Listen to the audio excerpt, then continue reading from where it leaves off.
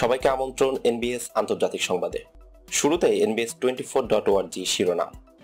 ভারতের উত্তরপ্রদেশে তাবলিগ জামায়াতের পাঁচ সদস্য গ্রেপ্তার। পাকিস্তান বিমান বাহিনীতে পাইলটের আসনে হিন্দু যুবক। ভারতে করোনা মহামারীর মাঝে সোয়াইন ফ্লুর হানা।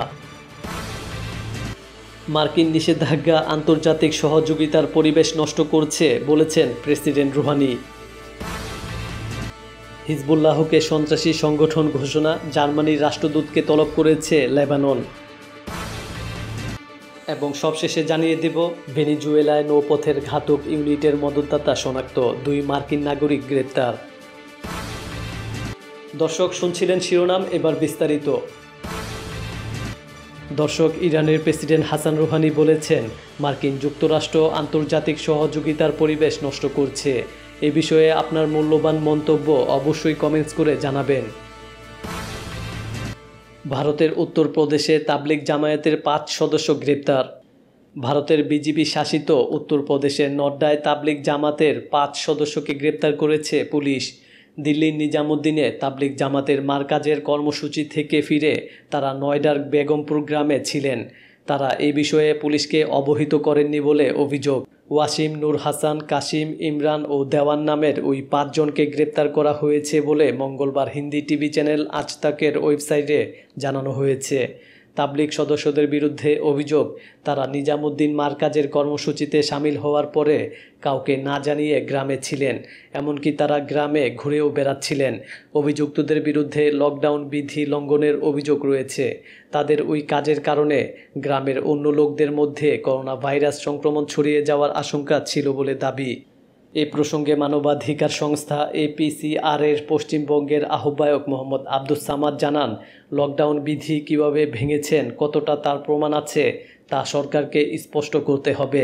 অনেক ক্ষেত্রে হয়তো সুযোগ সুবিধা হয়ে ওঠে না জানানোর, কিন্তু তাই বলে তাদেরকে গ্রেপ্তার করা বৈধ বলে মনে করি না।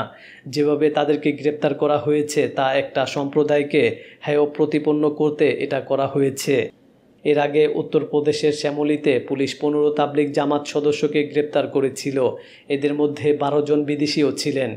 পুলিশ সে সময় তাদের বিরুদ্ধে ভিসা লঙ্ঘন ও মহামারী আইনসহ বিভিন্ন ধারায় মামলা দায়ের করেছিল। অভিযোগ, এ সকল লোক পুলিশকে না জানিয়ে শ্যামলিতে ছিলেন। পাকিস্তান বিমান বাহিনীতে পাইলটের আসনে হিন্দু যুবক। পাকিস্তানের ইতিহাসে প্রথমবারের মতো বিমান বাহিনীর পাইলট হিসেবে নির্বাচিত হয়েছেন এক হিন্দু যুবক। নাম তার রাহুল দেব। ২৬ বছরের ওই যুবক জেনারেল ডিউটি পাইলট হিসেবে পাকিস্তান বিমান বাহিনীতে যোগ দিয়েছেন। পাকিস্তানি সংবাদ মাধ্যম থেকে জানা গেছে, এর আগে পাকিস্তান বিমান বাহিনীতে আগেও বিভিন্ন পদে সংখ্যালঘুরা দায়িত্ব সামলেছেন। কিন্তু পাইলটের মতো গুরুত্বপূর্ণ পদে বসছেন একজন হিন্দু। এমনটা হয়নি কখনো।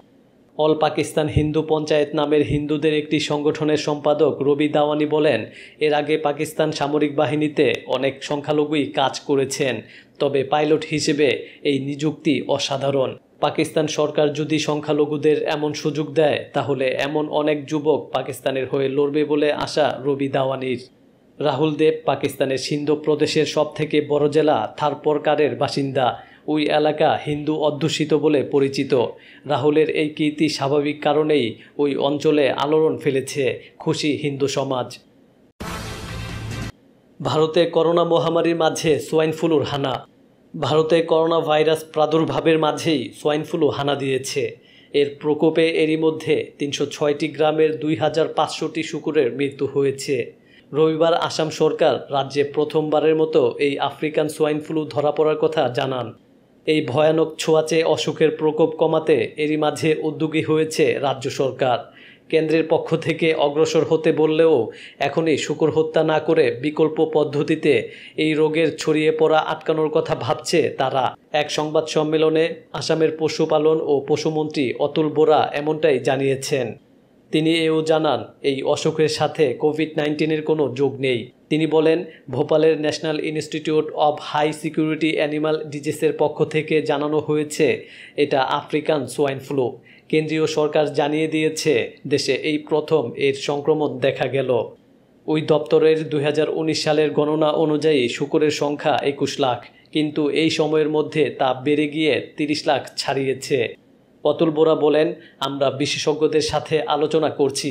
যদি শকুরদের হত্যা না করে অন্য কোনো উপায়ে তাদের বাঁচানো যায়, এই অসুখে শকুরদের মৃত্যুর হার প্রায় শতভাগ। তাই আমরা কিছু কৌশল নিয়েছি এই ভাইরাসে সংক্রমিত না হওয়া শকুরদের বাঁচাতে। তিনি বলেন, সংক্রমিত এলাকার এক কিলোমিটার ব্যাসার্ধের মধ্য থেকে নমুনা সংগ্রহ করা হচ্ছে। এরপর কেবল সংক্রমিত শকুরগুলোকেই হত্যা করা হবে। তিনি জানান, তারা এখনই শকুরদের হত্যা করা থেকে বিরত থাকতে চাইছেন। আপাতত পরিস্থিতি খতিয়ে দেখে তবেই এই ব্যাপারে সিদ্ধান্ত নেওয়া হবে বলে জানান তিনি।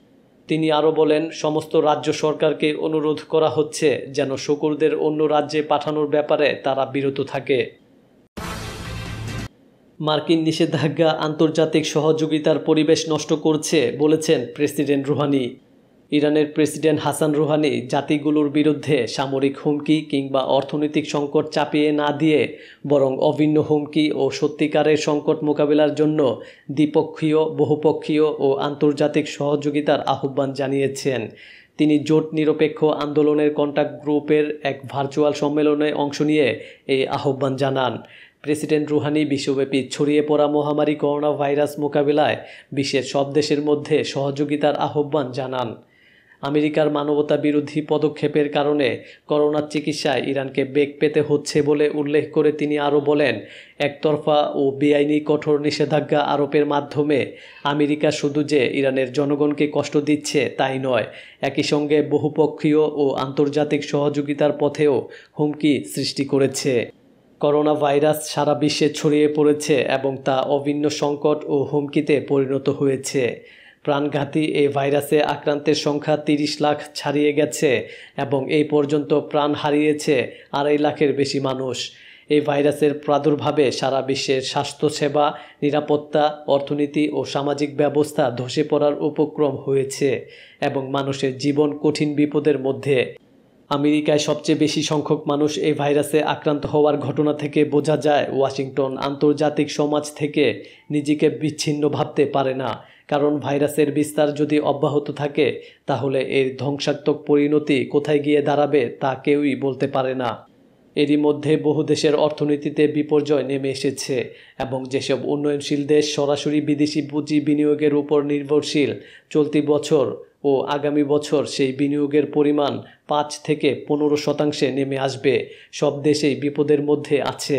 এই অবস্থায় করোনাকে পুঁজি করে আমেরিকার অনৈতিক আচরণ বিশ্বে আরও বড় ধরনের সংকটের জন্ম দিতে পারে। বিশ্ব স্বাস্থ্য সংস্থার বিরুদ্ধে আমেরিকার পদক্ষেপের কথা উল্লেখ করে ইরানের প্রেসিডেন্ট বলেন, এতে করে করোনার মতো অভিন্ন সংকট মোকাবিলার কার্যক্রমে স্থবিরতা নেমে আসবে। প্রেসিডেন্ট রুহানি আরও বলেন, তড়িঘড়ি করে বিশ্ব স্বাস্থ্য সংস্থাকে দেয়া অর্থ সাহায্য বন্ধ করে দিয়ে মার্কিন সরকার আরেকটি কৌশলগত ভুল করেছে। যাই হোক, এতে কোনো সন্দেহ নেই জোট নিরপেক্ষ আন্দোলন অনেক বড় একটি আন্তর্জাতিক জোট এবং বর্তমান পরিস্থিতিতে এই সংস্থারও দায়িত্ব রয়েছে। তাই এই জোটের সদস্য হিসেবে ইরানের প্রেসিডেন্ট করোনা মোকাবেলায় সবাইকে ঐক্যবদ্ধ হওয়ার যে আহ্বান জানিয়েছেন, তা যথেষ্ট গুরুত্বপূর্ণ। হিজবুল্লাহকে সন্ত্রাসী সংগঠন ঘোষণা জার্মানির রাষ্ট্রদূতকে তলব করেছে লেবানন। জার্মানি লেবাননের ইসলামী প্রতিরোধ আন্দোলন হিজবুল্লাহকে সন্ত্রাসী গোষ্ঠীগুলোর তালিকায় অন্তর্ভুক্ত করার যে ঘোষণা দিয়েছে, তার প্রতিবাদে দেশটির রাষ্ট্রদূতকে তলব করেছে লেবাননের পররাষ্ট্র মন্ত্রণালয়। লেবাননের পররাষ্ট্রমন্ত্রী নাসিফ হিত্তি জার্মানির রাষ্ট্রদূত জর্জ বার্গোলিনকে পররাষ্ট্র মন্ত্রণালয়ে তলব করে হিজবুল্লাহকে সন্ত্রাসী সংগঠন হিসেবে জার্মানির ঘোষণার বিষয়ে সঠিক ব্যাখ্যা দাবি করেন। জার্মানির কূটনীতিক বার্গোলিন দাবি করেন, জার্মানি হিজবুল্লাহকে সন্ত্রাসী সংগঠন হিসেবে কালো তালিকাভুক্ত করেনি। জার্মানির ভূখণ্ডে প্রতিরোধকামী সংগঠনটির কার্যক্রম কেবল নিষিদ্ধ করা হয়েছে। তিনি আরও বলেন, অনেক আগেই এই বিষয়ে সিদ্ধান্ত নেওয়া হয়েছে, কিন্তু সাম্প্রতিক সময়ে এর বাস্তবায়ন শুরু হয়েছে। এ সময় লেবাননের পররাষ্ট্রমন্ত্রী হিত্তি তার দেশের রাজনীতির ক্ষেত্রে হিজবুল্লাহর প্রভাবশালী ভূমিকার কথা উল্লেখ করে বলেন, লেবাননের জনগণ এবং সংসদের এক বিরাট অংশ প্রতিনিধিত্ব করছে এই সংগঠনটি। জার্মান সরকার গত তিরিশ এপ্রিল হিজবুল্লাহকে সন্ত্রাসী আখ্যা দিয়ে দেশটিতে এই সংগঠনের তৎপরতা নিষিদ্ধ করে। আমেরিকার চাপের মুখে এবং ইহুদিবাদী ইসরায়েলকে সন্তুষ্ট করতেই জার্মানি হিজবুল্লাহকে সন্ত্রাসী সংগঠন হিসেবে ঘোষণা দিয়েছে বলে মন্তব্য করেছেন এই সংগঠনটির মহাসচিব সাইয়েদ হাসান নাসরুল্লাহ। ভেনিজুয়েলায় নৌপথের ঘাতক ইউনিটের মদতদাতা শনাক্ত দুই মার্কিন নাগরিক গ্রেপ্তার। ভেনিজুয়েলার কয়েকজন নেতাকে হত্যার ষড়যন্ত্রের সঙ্গে জড়িত দুই মার্কিন নাগরিককে গ্রেপ্তার করা হয়েছে। দেশটির প্রেসিডেন্ট নিকোলাস মাদুরো এই তথ্য জানিয়েছেন। তিনি বলেছেন, রবিবার ভোরে ভেনিজুয়েলায় সাগরপথে আগ্রাসনের আত্মস্বীকৃত মূল হোতা জর্দান গুদ্রিওর দুই সহযোগীকে আটক করা হয়েছে। এ সময় তিনি আটক দুই মার্কিন নাগরিকের পাসপোর্ট সহ বিভিন্ন কাগজপত্র প্রদর্শন করেন। ওই দুজনের নাম হচ্ছে লুক ডেনমান এবং এরিয়ান বেরি। সাগরপথে আগ্রাসনের মদতদাতা গুদ্রিও রয়টার্সকে দেওয়া সাক্ষাৎকারে স্বীকার করেছেন ডেনমান ও ভেরি তার লোক। রবিবার ভোরে ভেনিজুয়েলার কয়েকজন নেতাকে হত্যা করতে সাগরপথে স্পিডবোটের সাহায্যে একদল সন্ত্রাসী ভেনিজুয়েলার বন্দর নগরী লাগুয়াইরার সমুদ্র সৈকতে পৌঁছালে তাদের বিরুদ্ধে অভিযান চালায় নিরাপত্তা বাহিনী। এতে আট সন্ত্রাসী নিহত হয়। ভেনিজুয়েলার স্বরাষ্ট্রমন্ত্রী নেস্টোর রেভেরোল বলেছেন, শত্রুদের ভাড়াটে সন্ত্রাসী দলের দুই সদস্যকে জীবিত অবস্থায় আটক করা সম্ভব হয়েছে। এরপর আমেরিকার সাবেক সেনা জর্দান গুদ্রেও ওই অভিযানে মদত দেওয়ার কথা প্রকাশ্যে ঘোষণা করেন। আমেরিকার ওই সাবেক সেনা ফ্লোরিডা ভিত্তিক সিলভার কর্প নামের একটি নিরাপত্তা সংস্থার প্রধান। ভেনিজুয়েলার প্রেসিডেন্ট নিকোলাস মাদুরোর বিরুদ্ধে আমেরিকার একটি অভ্যুত্থান প্রচেষ্টা ব্যর্থ হয়েছে বলে খবর প্রকাশিত হওয়ার পরেই সাগরপথে সন্ত্রাসী অনুপ্রবেশের ঘটনা ঘটল। সম্প্রতি একাধিক অজ্ঞাত সূত্রের বরাত দিয়ে মার্কিন বার্তা সংস্থা এপি বলেছে, আমেরিকার কোটিপতিদের অর্থ সাহায্য নিয়ে তিনশো জনের একটি দল প্রেসিডেন্ট মাদুরোকে ক্ষমতাচ্যুত ও হত্যা করতে চেয়েছিল, কিন্তু ওই প্রচেষ্টা ব্যর্থ হয়েছে। ভেনিজুয়েলার প্রেসিডেন্ট নিকোলাস মাদুরো মার্কিন সাম্রাজ্যবাদ বিরোধী নেতা হিসেবে পরিচিত। দর্শক, এই ছিল এখনকার মতো। আমাদের পরবর্তী সংবাদ দেখার আমন্ত্রণ জানিয়ে বিদায় নিচ্ছি। আমি আবদুল্লাহ সাহেল।